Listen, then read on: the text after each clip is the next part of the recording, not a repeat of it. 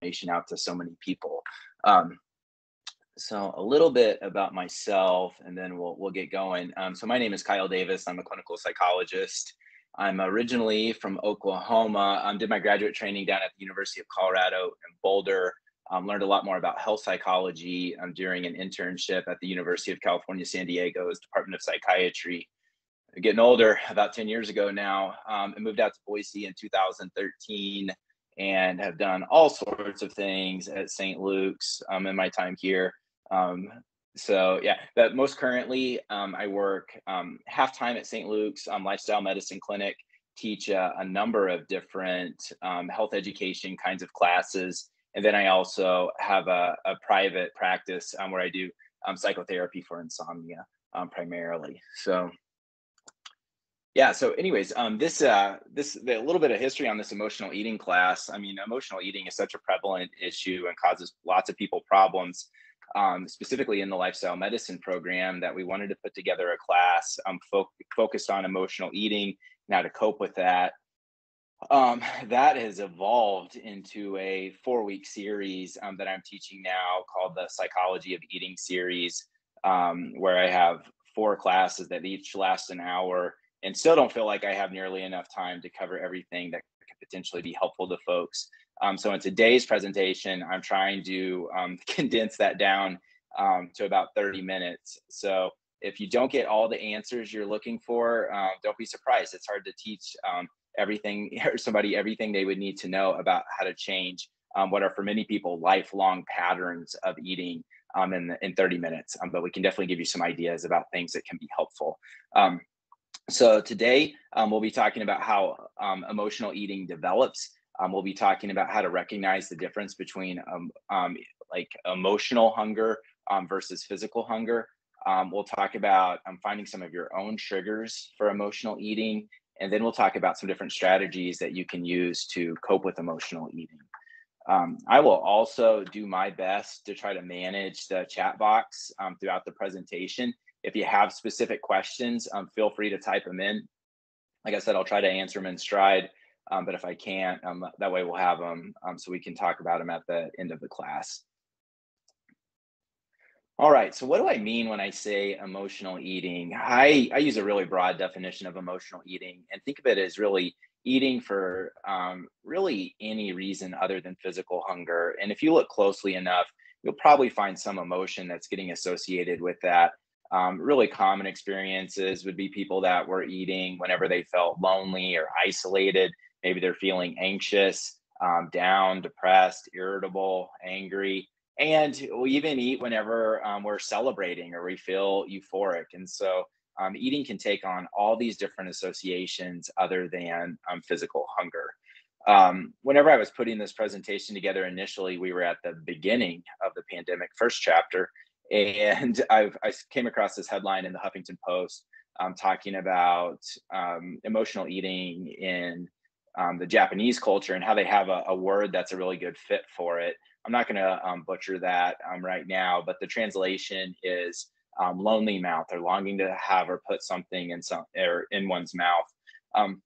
Um, and I just thought it was important to bring up that you know emotional eating cuts across um, cultures. It's certainly not a uniquely uh, American situation, and I I've got to think that as long as humans have been around, if they had excess food on hand, um, there probably has been some form of emotional eating um, going on. So this is, and, and, we'll talk about why that is so easy um, for people to fall into a little bit later on. So I like to give people an idea of where they're at in this uh, spectrum of emotional eating. Um, I'm going to go through this survey pretty quickly. Um, it could be helpful for you to jot down um, responses to these questions.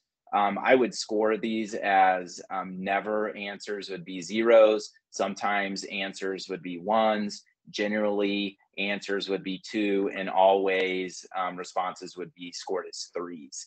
Um, so write down your answers as we go through this, and you can add them up to see where you would fall in the spectrum of emotional eating. Um, and also I'll point out this was translated from another language. So if the wording is a little funky, that's why. Um, okay, so number one, do the weight scales have a great power over you? Can they change your mood? In other words, um, if the scale's not going the direction you want it to, does it ruin your day? Um, so never, sometimes, generally, or always. Number two, do you crave specific foods? Once again, never, sometimes, generally, and always.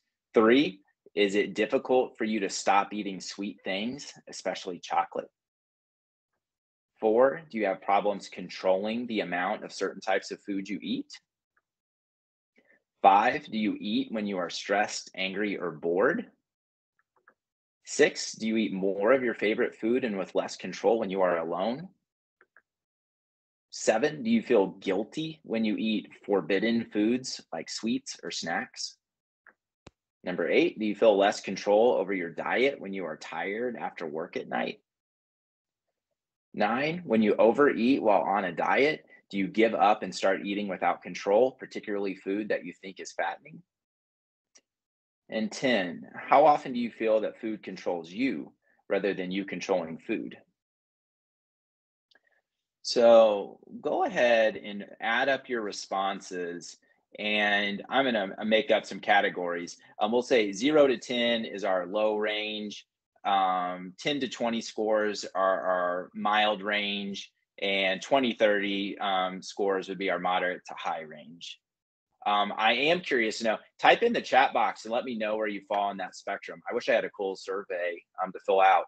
I, I, really wasn't anticipating having so many people here. Uh, but yeah, where do you fall on the scale? Uh, Michael, you can't top out the scale. You can't, you can't be twice as high.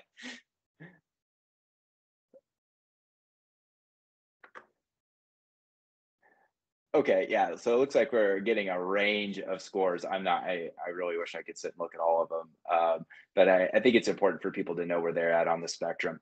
Also, want to point out here, you know, you're looking at these questions. You probably are thinking, you know what? Everybody um, you know, probably does this um, to to some extent. And I think that that's totally true. I mean, you think about something like you feel less control over your diet when you're tired. You crave specific foods at times. Um, you know, these are going to be really common um, experiences for people. Um, so once again, you know, this operates in a spectrum like most things do. Um, but once again, it can be super helpful to know where you're at on that spectrum because that could indicate if you want to seek additional um, help for that. Um, so let's talk a little bit about how emotional eating develops. And um, there are probably lots of reasons that people that fall into these kinds of patterns of emotional eating. Um, on one hand, emotional eating is a, a be- learned behavior that gets reinforced over time. Um, emotional eating is also reinforced physiologically, and emotional eating may develop as a coping strategy for stress. Um, and be reinforced as a learned behavior and physio- physiologically. So let's take a closer look at how those things happen. So emotional eating as a learned behavior. Um, so emotional eating can occur in response to different thoughts, feelings, behaviors, different environments.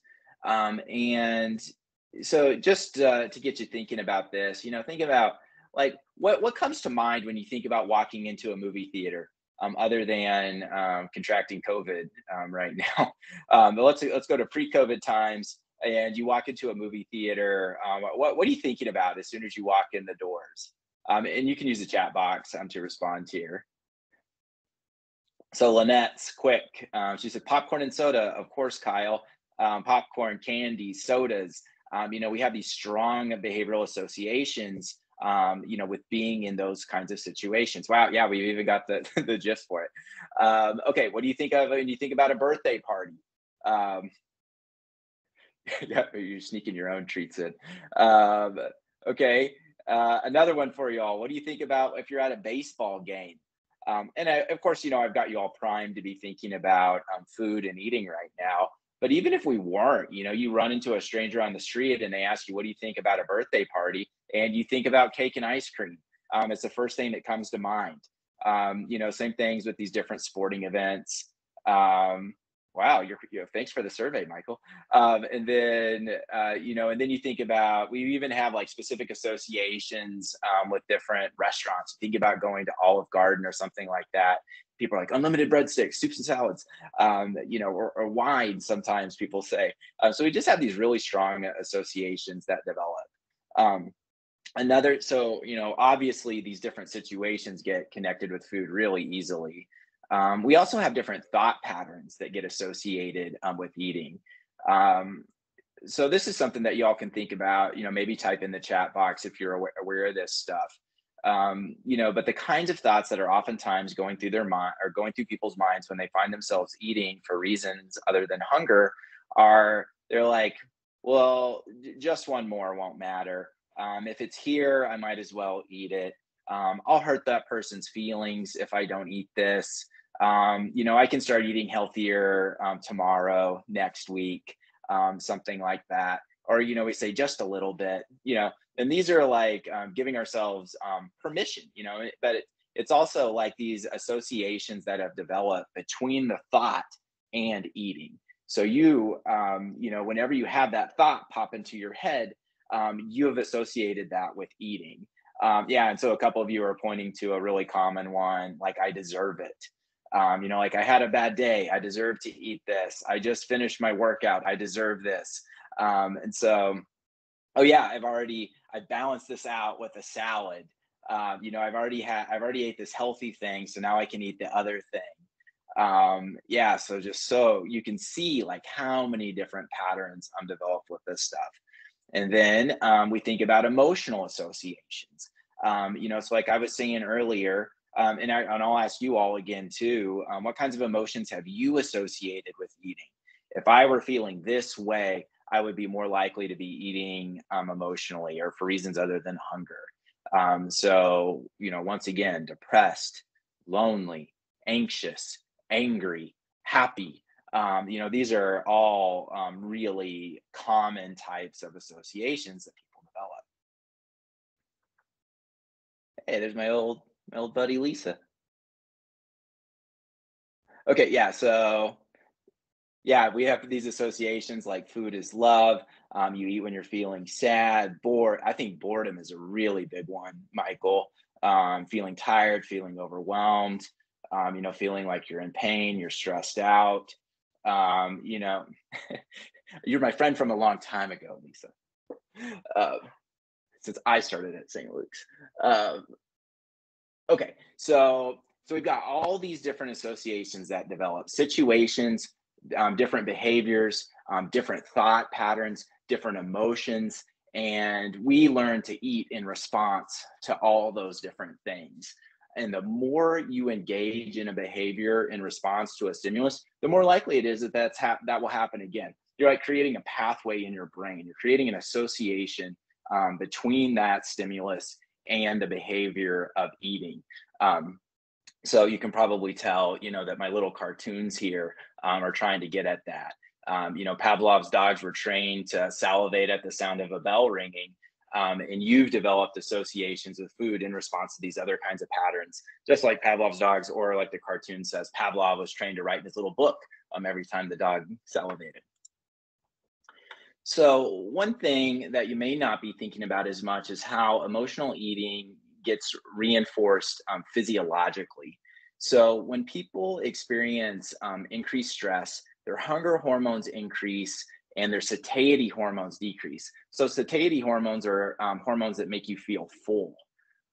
Why do you think your bodies would react that way? If you were experiencing more stress, why would your body want to eat more food?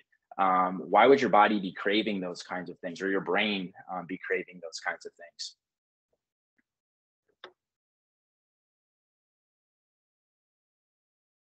Uh, all right, somebody took control of the presentation. Um, let me get us back on track. Somebody is sharing their screen of me right now.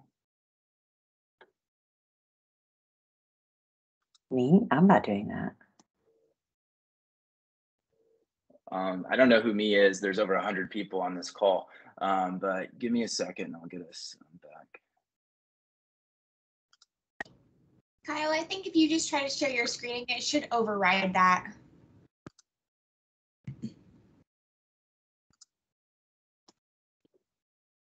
Yeah, I just have to select the right presentation again. Thanks for your help, Aaron.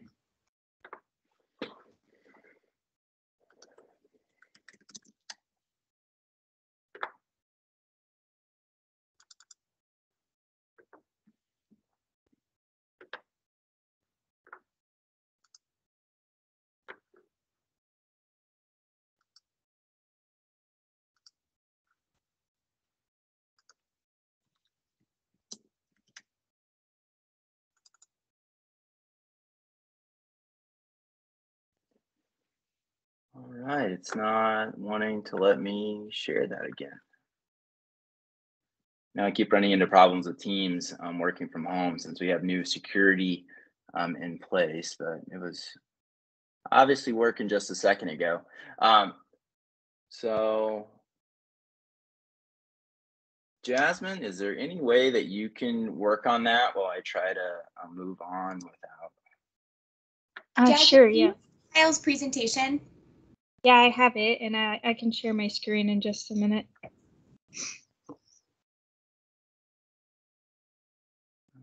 I can try one more time.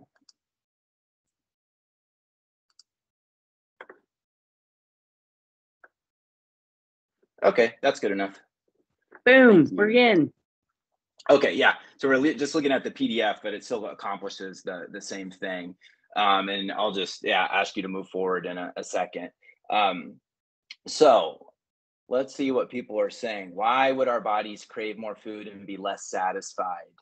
Um, well, I'm not probably not going to be able to read all of them.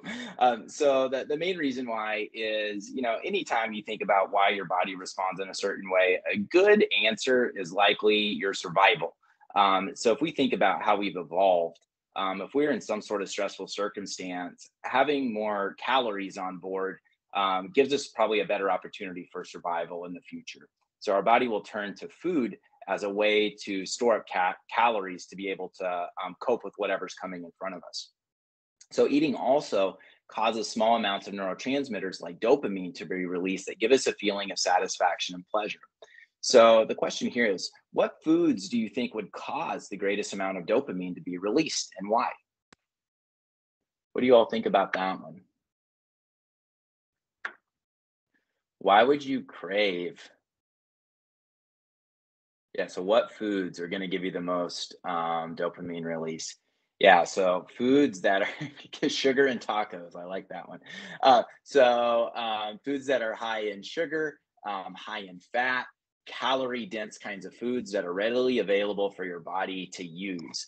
Um, that's what it wants. Um, you're not going to be probably not going to find yourself craving carrots and celery and broccoli and apples um, in these situations. Um, you're going to be craving foods um, that are the the high calorie, um, high sugar, high fat kinds of foods. Once again, um, because it gives you more of those um, uh, energy that you could use to survive, and that gets easily converted into to fat. All right, next slide, please. All right, so what we're looking at here is uh, I lost all my my cool animations, but uh, the CB, the cognitive behavioral therapy model and how it applies to what we're talking about. So the cognitive behavioral therapy model says that we're going to be exposed to all sorts of different situations um, in our lifetime. And um, in response to those different situations that we face we'll experience different thought patterns that arise from them.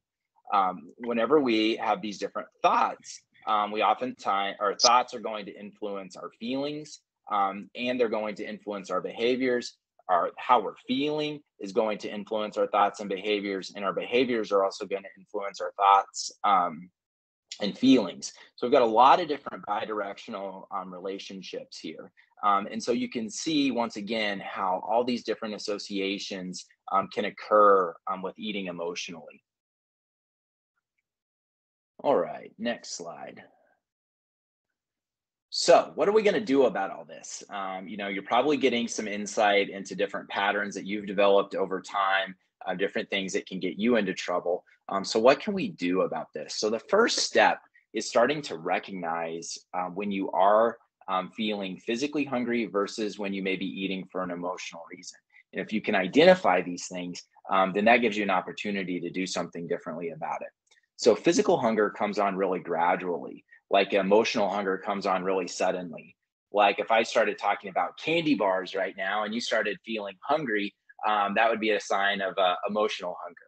Um, when we're experiencing physical hunger, we're open to eating all different kinds of foods. Um, and emotional hunger is usually for a, a, really specific kind of food or we're craving something. Um, you know, if you've ever seen the show like or Survivor or Alone, you know you think about the kinds of things these people end up eating when they're really hungry um, you know they are very open to all different kinds of foods um, physical hunger is based in the stomach. We think of emotional hunger as being above the neck um, or having more of a, a psychological um, connection. Um, physical hunger kind of comes on slowly, where emotional or eating for emotional reasons feel really urgent. Um, physical hunger occurs out of physical need. Emotional hunger is oftentimes paired with an upsetting emotion. Physical hunger can involve um, deliberate choice and awareness of eating, where emotional eating um, becomes absent minded pretty easily um, or automatic. Physical hunger, um, hopefully, we stop eating when we're full or we're not hungry anymore. Um, where we for emotional reasons, oftentimes we're not paying attention to those um, satiety cues at all.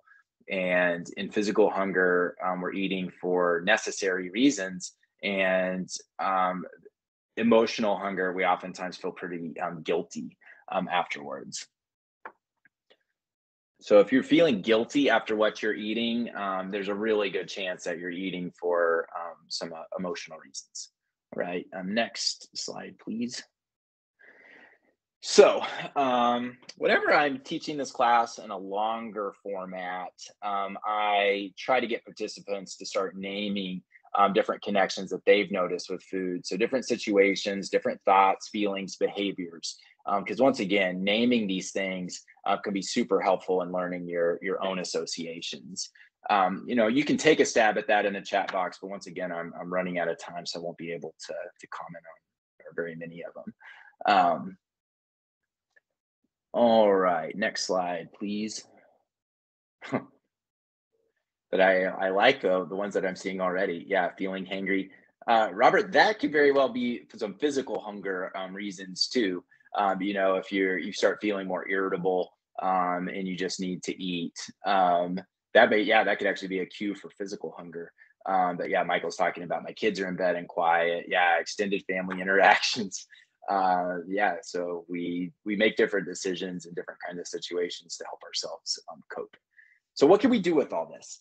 Um, so this is not by far, this is definitely not an exhaustive list of things that people can do. And I also, you know, don't want to oversimplify this stuff. Um, it's a lot easier said than done. Um, you know, most people need to give this like multiple iterations, you know, before it starts um, clicking. You try different things out you do them over and over again. It's helpful to have feedback when you're working with somebody like myself, um, you know, to make these changes. But um, a lot of this stuff is going to be the same, you know, um, whether you're working with a professional or, or trying it on your own. Um, so, um, first up, mindfulness. Um, this is one that I am probably doing a big disservice to by just saying be mindful about when you're eating because geez, you could spend the rest of your life um, learning mindfulness. And people that do that regularly meditate totally understand that you know it's a lifelong practice but when we're talking about mindful eating all we're t- the main thing we're talking about is checking in with ourselves and saying like what's going on in, with myself currently? Why am i eating right now? Um, is this emotionally um, am i you know craving foods for emotional reasons or is this more of um, from a place of physical hunger? So you're just checking in with yourself um, before you decide whether or not you're going to eat. Um, so another thing, this is probably one of the most straightforward, helpful ones, and it sounds too too easy, but uh, man, it sure can be helpful. Um, so changing your environment, and these are things like you. Somebody was talking about like Taco Bell earlier. You know that that's a, a weakness for you when you drive home from work and you're really tired. Um, you know, Taco Bell starts calling you. Um, then you may choose to drive home a different way um, driving home a different way um, avoids that um, association with that, makes it more difficult for you to, to go there. Um, and so, literally changing the way that you're driving, avoiding that cue um, can be super helpful. Um, even more specific than that is really try hard not to bring unhelpful foods into your house. And if they are in your house, put them in a place that that you wouldn't normally keep food. make it more difficult for you to access it like I've got people um, that are keeping their uh, the kids, the grandkids snacks in their garage or in a closet somewhere that they wouldn't normally go to. Because um, people say, well, you know, I need these foods in the house for my kids or grandkids or my spouse or you know these other people. I don't want to be eating them, but they're there, and then I end up eating them. And so, putting them in a different place and literally making it harder for you to access them can go a long ways and also make you pause a little bit more before you would um, eat them. Um, doing things like engaging in a competing behavior. Um, this is also really straightforward. It can be really helpful. I would venture to say, you know, if we were looking at most of your um, patterns of emotional eating, a lot of this is occurring in the evening, um, in the time between you eat dinner and the time that you go to bed. Um, finding a competing behavior um, to to engage in during this time can be super helpful in preventing yourself from eating for other reasons. So something like um, chewing gum, um, drinking a big glass of water.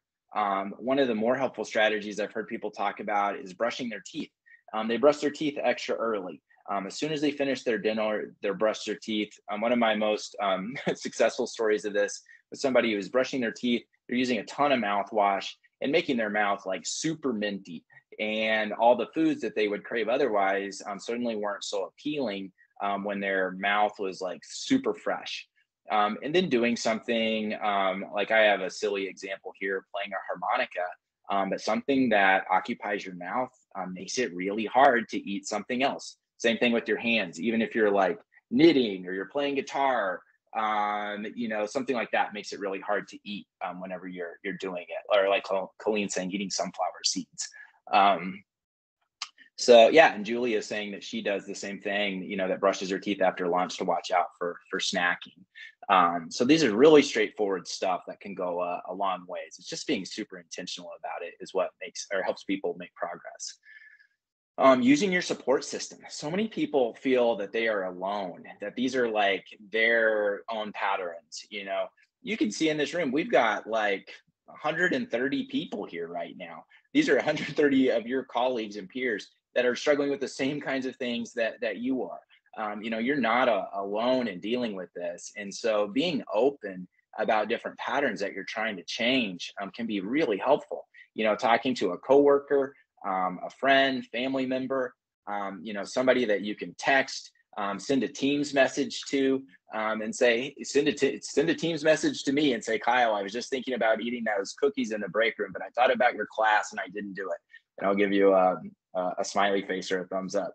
Um, so, you know, asking for support, um, you know, can be really helpful. And just knowing that there are other people out there that care and can help um, help you have some accountability for what you're working on. Um, creating new patterns. Many of you know exactly, you know, where your downfalls are when it comes to emotional eating.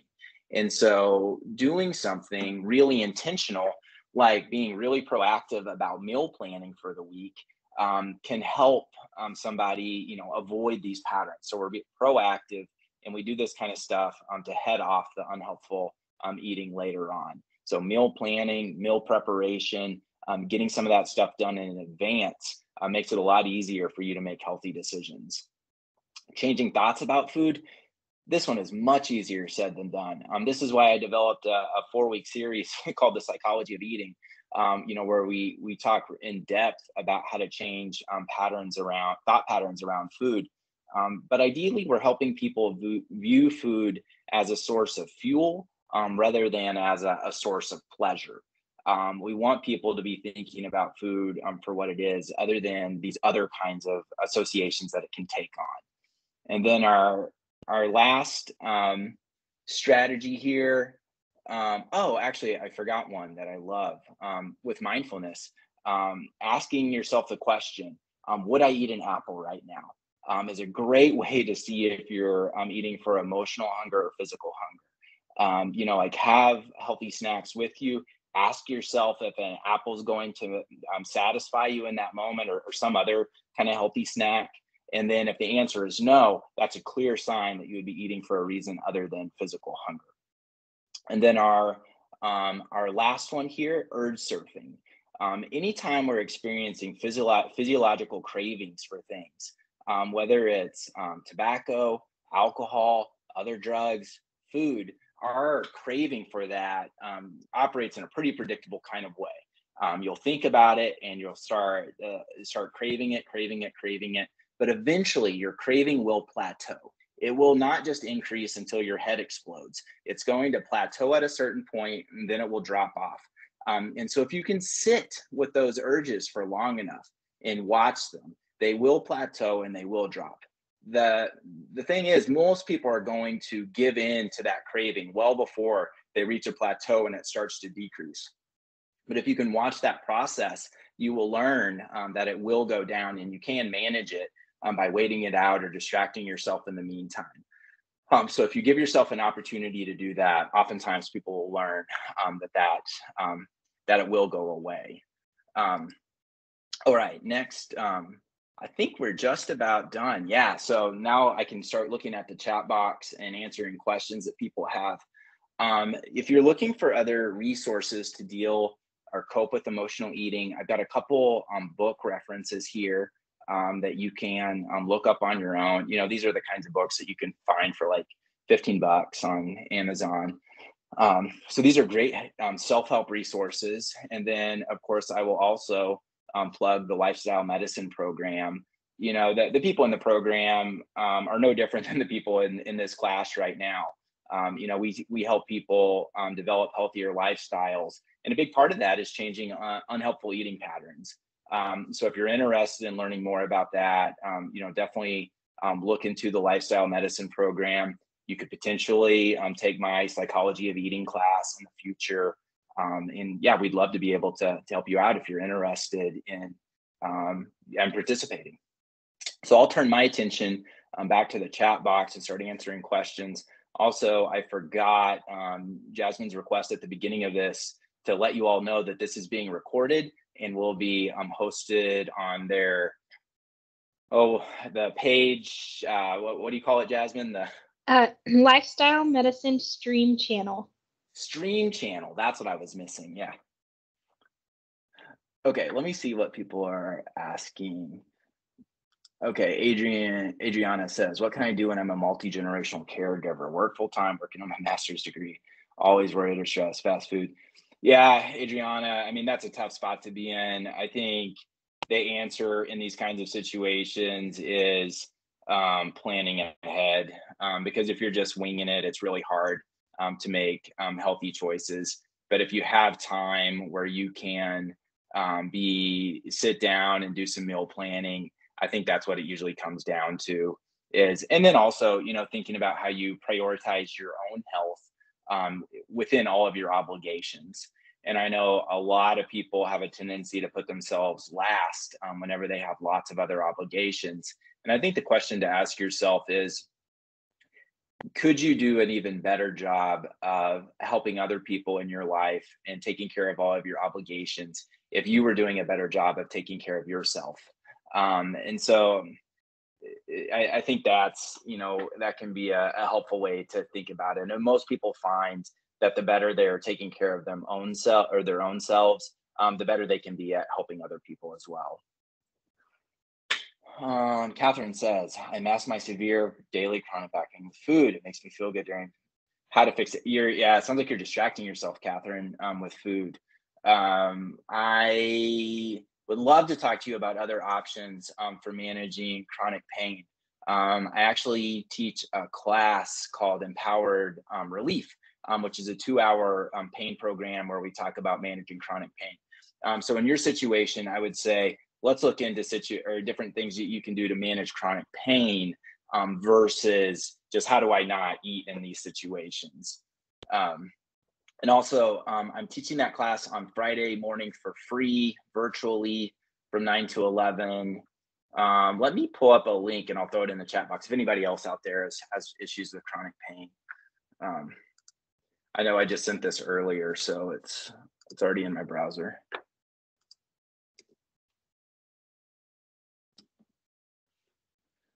So the, the link I just put in the chat box is for um, this empowered relief program. I teach it for St. Luke's, um, but we charge money for it. Um, this one I'm doing in the community is actually free. Okay, so let me see what else is up here. Um, food is constantly used as an incentive or language. Yeah, you're right, Tara. Um, that's how those associations um, develop.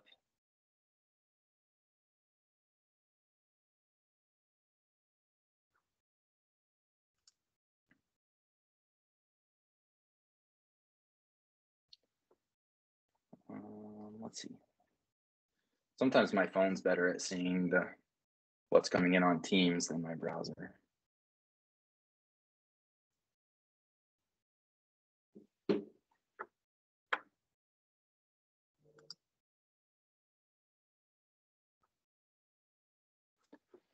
Yeah, Heather, you know that about yourself.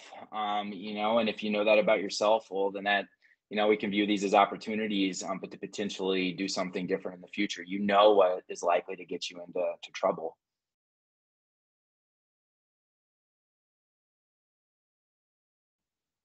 But you know, just because you have those personality traits definitely does not mean that you can't um, do something differently in the future.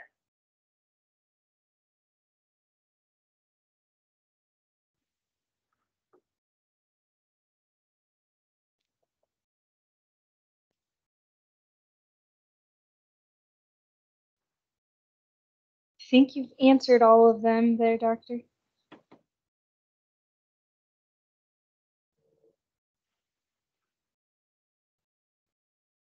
Oh, cool, Heather. Yeah, I mean, just knowing that about yourself, um, you know, and starting to think about it differently um, can really free you up um, to to start changing those patterns. It's like one more from Nicole. Why is it Yeah. when you die? Okay. I can see him. oh, Um, perfect. have a good plan and things are going well. All of a sudden, there's an urge to eat and not stop. Ooh, wow. Yeah, that's getting into interesting stuff. Um, I, I think a lot of people, if you think about the stories that you tell yourself in your head, um, many of us have like these narratives. Um, they, they're not always narratives that we want for ourselves, but they exist. And, you know, people will have this belief that they cannot be successful in changing um, eating patterns. Um, and so they can get into these, uh, you know, patterns where they do pretty well for a while, um, but then they fall off the wagon or they feel like they're self-sabotaging. And I think a big part of that is is that there's a real tendency to try to continue that narrative um, that things aren't going to work and that you're not going to be successful. And so there's like this unconscious desire to engage in self-sabotaging um, kind of behavior. Um, it's definitely something that people can overcome um, but i think that that is one of the big reasons you know that people um, fall into those um, situations like everything's going well and then you just fall off the wagon for some reason um,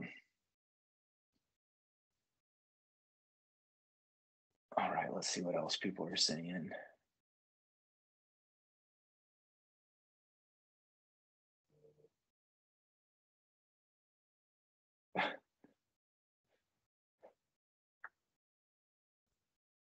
Yeah. So once again, you know, um, changing these patterns um, can be really difficult. And so, you know, like working with somebody like myself, um, you know, a, a therapist who is familiar um, with strategies for dealing with emotional eating, um, you know, on the the further end of emotional eating is binge eating disorder, um, you know, and so you can go a little bit deeper and try to figure out, you know, what may be driving some of that behavior.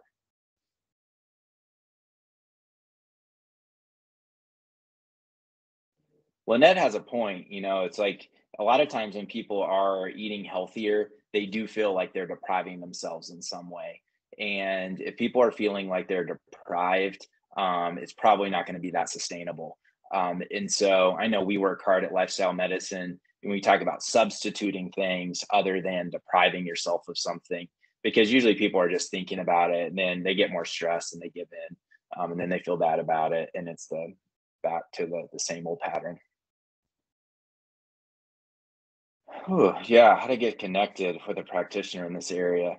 You know, I think some of our, our dietitians in the community are probably pretty savvy about this. I know I saw Liz, Liz um, on the call earlier, at least one dietitian I know that works for St. Luke's, though I, I don't think that, or not everybody could work with her. Um, you know, I know some of our health coaches in the system are some, some are probably more familiar with this stuff than others. Um, and then um yeah like you know myself and I, I don't really know that many therapists in the community that would be really um well versed in this stuff. That doesn't mean they don't exist. Um you know i'm i'm also a potential resource in my um, private practice. And of course also in the within the lifestyle medicine program as well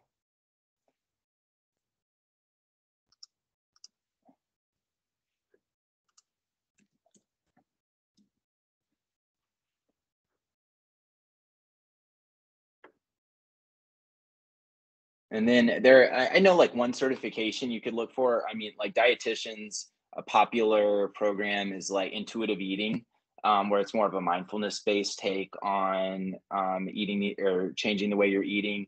Um, so if you look for folks um, that are certified or trained in the intuitive eating program, um, that that could be a helpful resource.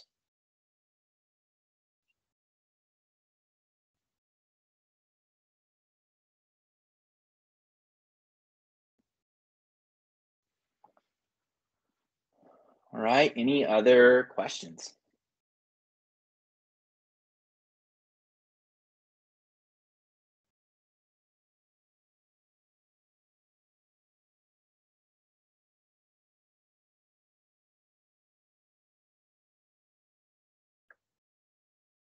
Yeah, don't be shy. I'm my next patient's not for 20 minutes, so if you have a question, um, feel free to feel free to ask.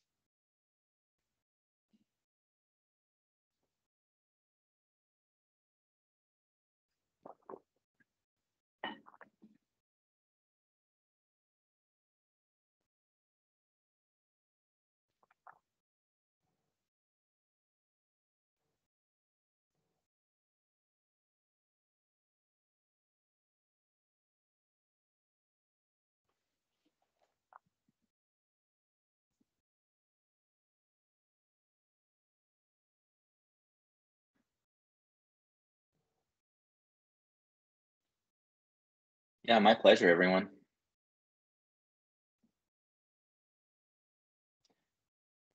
It's cool to see some of these uh, old people from my my old old jobs at St. Luke's, like Lisa.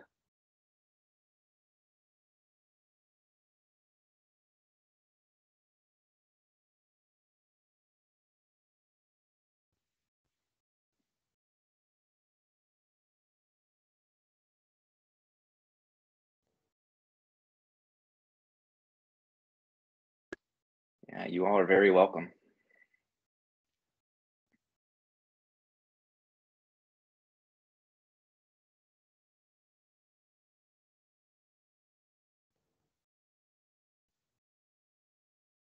Ooh, Christina, do I think intermittent fasting increases emotional eating? Um, I don't know. It probably increases your cravings for physical hunger. Um, I'm not sure if it would make it. I think that's probably a situation where you would really want to focus on alternative um, behavior strategies that you could use um, because you're also dealing with physical hunger. You know, if you're doing some fasting, especially until you get um, like used to that kind of pattern of eating.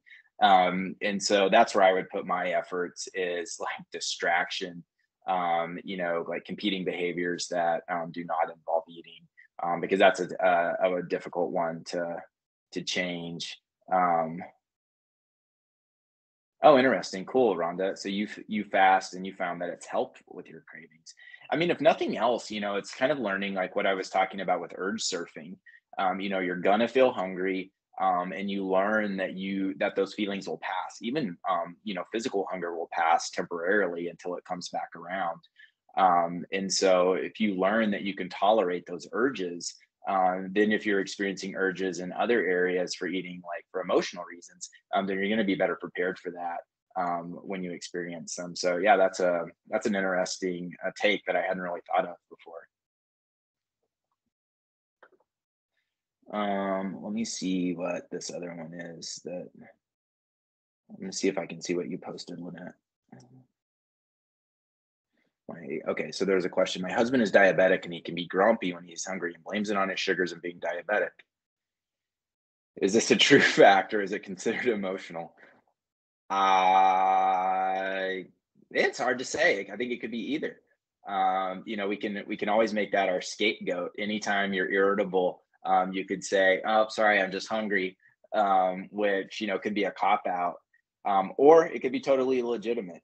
Um, I would maybe you um, you make him measure his blood sugar um, whenever he says that, and then you could actually see what his blood sugar was at, and then see if it's associated with being grumpy or not. It could be a, a lot of other things, you know, that is making somebody feel grumpy.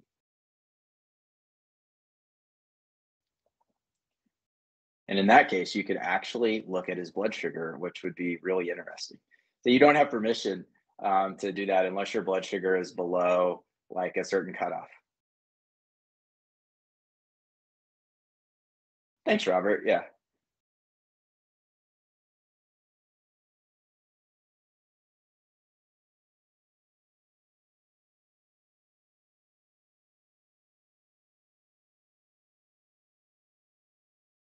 I definitely think, you know, feeling hangry or irritable when you're hungry is definitely a real thing. I mean, I I think I experienced that too.